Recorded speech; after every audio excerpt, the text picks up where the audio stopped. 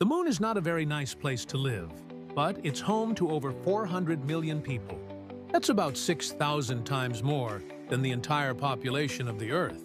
You might be wondering, how do so many people fit on something that small?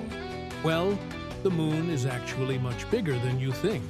It's about 3,400 miles in circumference. That's almost as big as the United States. And just like the Earth, the moon has its own atmosphere. It's just much thinner. This means that there is no air to breathe and no sound to hear. Everything would be silent. But there is one thing that makes the moon a little more livable. It has a magnetic field that protects it from harmful solar radiation. Without it, life as we know it would not be possible. So next time you look up at the moon, remember it's not just a pretty face. It's a real living planet with its own unique environment. Thanks for watching. See you next time.